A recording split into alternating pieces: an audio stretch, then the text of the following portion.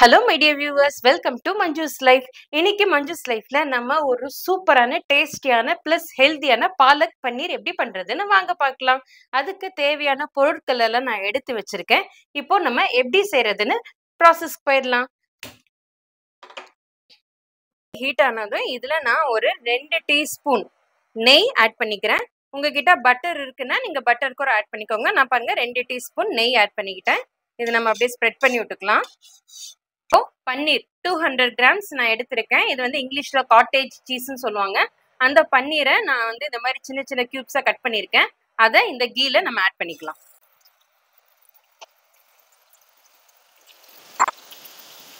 இப்போ இது லைட்டாக நல்லா ஒரு கோல்டன் ப்ரௌன் ஆற வரைக்கும் இது பண்ணிட்டு எடுத்துடலாம். அவ்வளோதான் பாருங்க பன்னீர் இந்த மாதிரி லைட்டாக கொஞ்சம் கலர் சேஞ்ச் ஆனதும் நான் வெளியில எடுத்து வச்சிருக்கேன். இப்போ கடையில இதே அந்த கீ ஆட் பண்ணியிருக்கோம் பாத்தீங்களா? அதே இதுல பாலக்கீரை. பாலக்கீரை வந்து ஒரு இதுல ஸ்டெம்ல வந்து ஒரே ஒரு லீஃப் தான் இருக்கும். நம்ம க்ளீன் பண்றதுக்கு ரொம்ப ஈஸி அந்த பாலக்கீரையை நான் ஒரு டூ த்ரீ டைம்ஸ் வாஷ் பண்ணி எடுத்திருக்கேன். இதுவும் ஒரு டூ ஹண்ட்ரட் கிராம்ஸ் இருக்கும். அந்த கீரையை நான் இந்த இந்த நெய் இதுலயே ஆட் பண்ணிக்கிறேன். பண்ணி இதை நல்லா நம்ம வேக வச்சுக்கலாம் கீரையை. நம்ம வாஷ் பண்ணியிருக்கனால கீரையிலே தண்ணி விடும். நீங்கள் எக்ஸ்ட்ராவாக தண்ணி எதுவும் ஆட் பண்ண தேவையில்லை. ஜஸ்ட் நீங்கள் வந்து அந்த அடுப்பில் வந்து இது நல்லா வேக மட்டும் வச்சுருங்க. அப்புறம் இதை இதையும் நம்ம அரைக்க தான் போகிறோம் பாருங்க கீரை நம்ம தண்ணி எதுவும் ஆட் பண்ணல. நம்ம கீரை வாஷ் பண்ணோம் பார்த்தீங்களா அந்த தண்ணி கீரையில இருந்து விட்ட தண்ணியிலே அது நல்லா வதங்கிட்டு இருக்கு. இது எப்படினாலும் நம்ம மிக்சியில் அரைக்க போகிறோம் இப்போ கீரை நல்லா பாருங்க நல்லா வதங்கிடுச்சு. நம்ம இதையும் வெளியில் எடுத்துடலாம். ஒரு பவுலில் நான் ட்ரான்ஸ்ஃபர் பண்ணிக்கிறேன். ஸோ அடுப்பு சிம்மில் வச்சுக்கிறேன். வச்சுட்டு இதை நான் அந்த வாட்டரோடவே ட்ரான்ஸ்ஃபர் பண்ணிக்கிறேன். ஏன்னா நம்ம அரைக்கும் போது என்ன அந்த கீரையில் இருக்கிற சத்தெல்லாம் அந்த தண்ணியில் இறங்கியிருக்கும். ஸோ அந்த தண்ணியோட நான் சேர்த்து எடுத்து வச்சுக்கிறேன். நான் அரைக்கும் போது பய அதையும் சேர்த்து நம்ம பயன்படுத்திக்கலாம். இப்போது அதே பேனில் நான் கொஞ்சம் ஒரு ரெண்டு டீஸ்பூன் ஆயில் ஆட் பண்ணிக்கிறேன். ரெண்டு டீஸ்பூன் ஆயில் ஆட் பண்ணிக்கிட்டேன். இப்போ இதில் ரெண்டு மீடியம் சைஸ் ஆனியன் பெரிய ஆனியனை சும்மா டைஸ்டாக கட் பண்ணியிருக்கேன். ஏன்னா இதுவும் நம்ம அரைக்க தான் போகிறோம் அதை ஆட் பண்ணிக்கிறேன். ரெண்டு மீடியம் சைஸ் தக்காளியும் இதே மாதிரி நான் வந்து ரஃபாக சாப் பண்ணி வச்சுருக்கேன். அதையும் ஆட் பண்ணிக்கிறேன். பச்சை மிளகா அதையும் ஆட் பண்ணிக்கிறேன். ஒரு ரெண்டு இன்ச் இஞ்சி அதையும் ஆட் பண்ணிக்கிறேன். இஞ்சி பூண்டு இருக்கும். பதினஞ்சு பல் பூண்டு இருக்கும். சின்ன சின்ன பூண்டுன்றதுனால நான் பதினஞ்சு எடுத்திருக்கேன். அதையும் நான் ஆட் பண்ணிக்கிறேன்.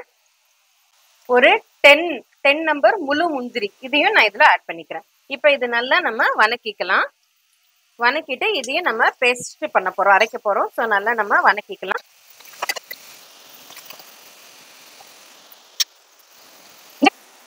இப்போ பாருங்க நம்ம போட்ட ஆனியன் தக்காளி எல்லாம் கொஞ்சம் நல்லா சாஃப்டாக இருக்கு எல்லாமே தக்காளி எல்லாம் நல்லா சாஃப்டாக இருக்கு ஸோ இந்த டைம்ல நான் அடுப்பை ஆஃப் பண்ணி இதையும் நம்ம ரூம் டெம்பரேச்சர் வர வரைக்கும் ஆறிட்ட அப்புறம் மிக்சியில் நம்ம போட்டு அரைக்க போகிறோம் இது ரூம் டெம்பரேச்சரில் நம்ம ஒரு டென் மினிட்ஸ் ஆற வச்சுக்கலாம்.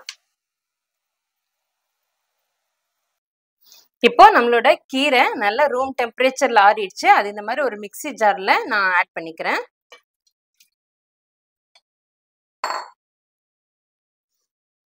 இப்போ நான் வந்து இந்த நம்ம இது பண்ணி வதக்கி வச்சிருக்கோம் பார்த்தீங்களா இந்த தக்காளி வெங்காயம் பச்சை மிளகாய் அதெல்லாமே இந்த மிக்சி ஜாரில் சேர்த்து ஆட் பண்ணிக்கிறேன். நம்ம எல்லாமே சேர்ந்து கிரைண்ட் பண்ண போகிறோம் நம்ம தண்ணி எதுவும் ஊற்ற தேவையில்ல. ஆல்ரெடி கீரையில் இருக்கிற தண்ணியும் தக்காளியில இருக்கிற அந்த தண்ணியே போதுமானது. அதனால தண்ணி எதுவும் ஊற்றாம இதை நல்லா பேஸ்ட்டாக அரைச்சிக்கோங்க. பாருங்க நான் நல்லா பாருங்க எவ்வளோ மெய்யாக அரைச்சிருக்கேன்னு. நல்லா மெய்ய நம்ம அரைச்சிக்கிட்டோம். இப்போ இப்போ இந்த க அதே கடாயில நான் வந்து ஸ்டார்ட் பண்ணுறேன் திருப்பி ஒரு ஒரு டீஸ்பூன் நெய் ஆட் பண்ணிக்கிறேன். ஒரு ரெண்டு டீஸ்பூன் ஆயில் ஆட் பண்ணிக்கிறேன். இதுலேயே இப்போ ஆயில் ஆட் பண்ணிட்டு ஃபஸ்ட்டு நம்ம கரம் மசாலா பொருட்கள் போட்டுடலாம். ஒரு பே லீஃப் ஒரு சின்ன இன்ச் பட்டை ஒரு குட்டியாக நாலு லவங்கம் ரெண்டு ஏலக்காய். இதை நான் ஆட் பண்ணிக்கிறேன்.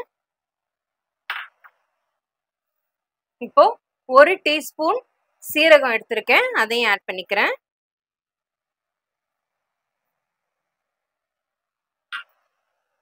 இப்போ இது நல்லா நம்ம ஃப்ரை பண்ணிக்கலாம். இந்த ஆயிலில் நல்லா ஃப்ரை பண்ணிக்கலாம். முடிச்சிருச்சு இப்போ நம்ம கிரைண்ட் பண்ண பேஸ்ட்டை மசாலா பேஸ்ட்டை ஆட் பண்ணிக்கலாம். இப்போ இதை நல்லா நம்ம இந்த ஆயிலோட ஆயில் நெய் சேர்த்துருக்கோம் இல்லைங்களா? அதில் நல்லா நம்ம மிக்ஸ் பண்ணிக்கலாம். பாருங்க பார்க்கும்போது எவ்வளோ நல்லா இருக்குன்னு. இப்போ இந்த ரெசிபிக்கு தேவையான உப்பு நான் ஒரு டீஸ்பூன் ராக் சால்ட் கல் உப்பு எடுத்து வச்சிருக்கேன். நீங்க டேபிள் சால்ட் இருக்குன்னா கூட ஒரு டீஸ்பூன் ஆட் பண்ணிக்கோங்க. நான் ராக் சால்ட் ஆட் பண்ணிக்கிறேன். நான் ஒரு ஒரு டீஸ்பூன் கரம் மசாலா ஆட் பண்ணிக்கிறேன்.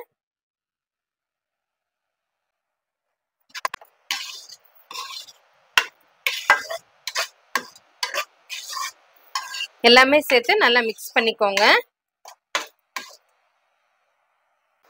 இப்போ நம்ம கிரேவி வந்து கொஞ்சம் திக்காக இருக்கு. ஸோ அதை அட்ஜஸ்ட் பண்ணுறதுக்காக நான் இந்த மிக்சியை வந்து நல்லா குலுக்கி அலசி ஒரு ஹண்ட்ரட் எம்எல் ஒரு அரை கப் தண்ணி நான் வந்து ஆட் பண்ணிக்கிறேன். கன்சிஸ்டன்சி தகுந்து நீங்கள் ஆட் பண்ணிக்கோங்க.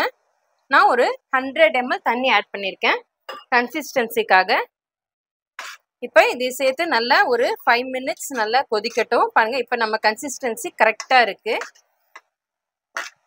இந்த பாலக் கிரேவி வந்து நீங்க சப்பாத்தி நான் அதுக்கெல்லாம் வந்து ரொம்பவே சூப்பரா இருக்கும். ரைஸ்க்கும் ரொம்ப சூப்பரா இருக்கும்.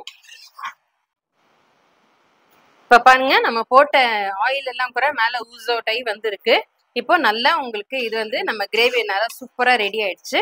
இப்போ இந்த டைம்ல நம்ம பன்னீர் நம்ம ஸ்டார்டிங்ல கீ போட்டு இது பண்ணோம் இல்லைங்களா? அதை நம்ம ஆட் பண்ணிக்கலாம். இப்போ பன்னீர் போட்டு நல்லா அந்த கிரேவியோட நல்லா இந்த மாதிரி மிக்ஸ் பண்ணிக்கோங்க. பாருங்க. இந்த மாதிரி மிக்ஸ் பண்ணும்போது அந்த பன்னீர்லேயும் அந்த கிரேவி இறங்கும். ஒரு ஒரு தேர்ட்டி செகண்ட்ஸ் இந்த மாதிரி நல்லா மிக்ஸ் பண்ணிக்கோங்க.